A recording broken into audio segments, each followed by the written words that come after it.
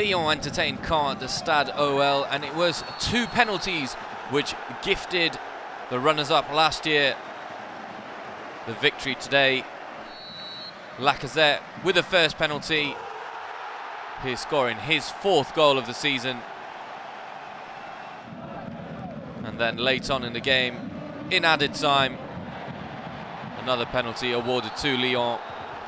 And once again, the French striker steps up to blast in.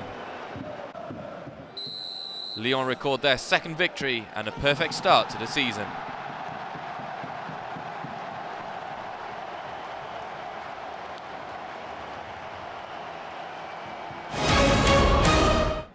Unai Emery's first game in charge at the Parc des Princes and the Spaniard will have been very happy with what he saw. Paris recording their second win after they beat Bastia last weekend. First it was Lucas who opened the scoring in the second half. Then Kurzawa added a second. His second goal of the season already.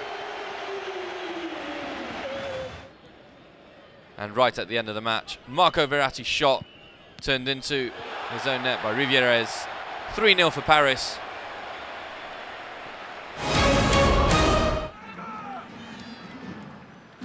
Nice played against Angers. And it was an early goal that settled the game in this one.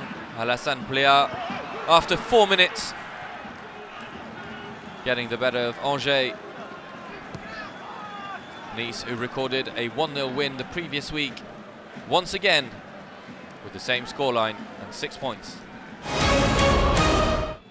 Pascal Dupraz Toulouse welcomed Bordeaux at the Stade Municipal after an unconvincing nil-nil draw at the Velodrome last weekend. This time, Toulouse storming to victory. A first goal by Diop, then by Jullien, and a beautiful free kick by Braithwaite, making it 3-0.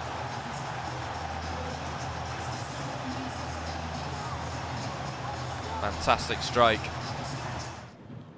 The home side then added a fourth. Braithwaite once again, beautiful skill, shot and goal.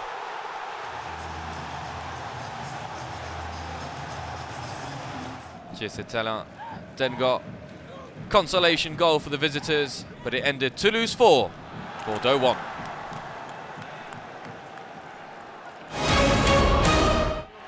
Marseille travelled to Guingamp after their nil-nil draw against Toulouse, and it started badly for the Olympians. Salibur getting the first goal for Guingamp. Guingamp on the back of a very good draw against Monaco just one week ago. 1-0 and then 2-0 in the second half. This time Jeremy Sorbon turning in. Marseille did manage to bring the score down. Thauvin with a good shot, but it was a little too late. Gabriel Boschilia with a one moment of glory in the Monaco-Nantes.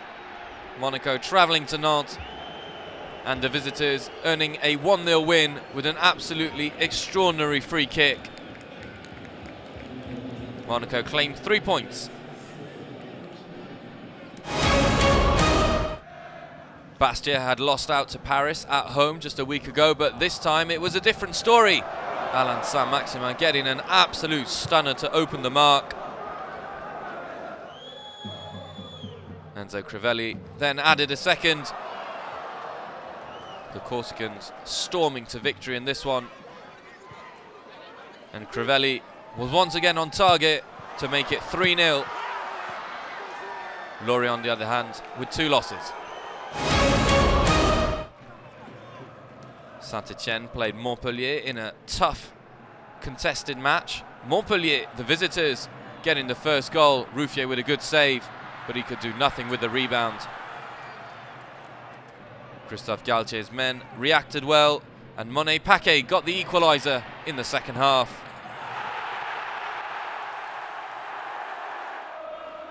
Dylan Saint-Louis then put Le Vert ahead 2-1. Jourdren in goal for Montpellier. Nothing he could do about that one. And then right at the end of the match, Robert Beric slotted pass for a third. Saint-Etienne 3, Montpellier 1.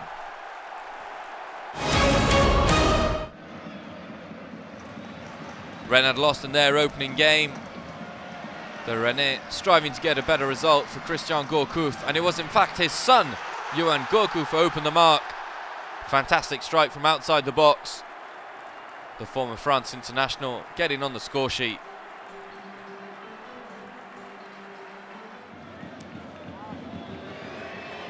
It ended 2-0 for the home side. After a fantastic run, Giovanni Sio finished off the work. Beautiful shot. And Rennes claimed that one 2-0. Promoted side Dijon travelled to Lille trying to get their first win of the season. But it wasn't meant to be as Eder's bad control turned into a pass. And Sankharé turned in three minutes from time.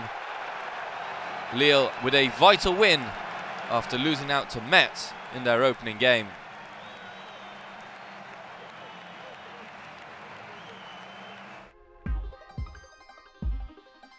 So Lyon win against Caen 2-0. Paris, Saint-Etienne and Rennes all claim victories.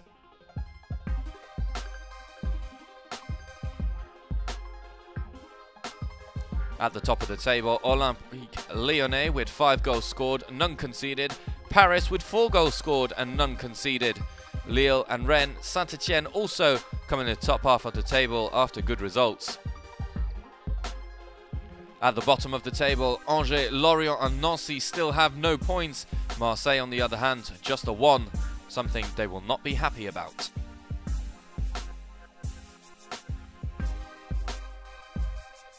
In next week's games, the big one, AS Monaco hosts Paris Saint-Germain. Saint-Etienne hosts Toulouse and Olympique de Marseille welcome Lorient at the Stade Velodrome.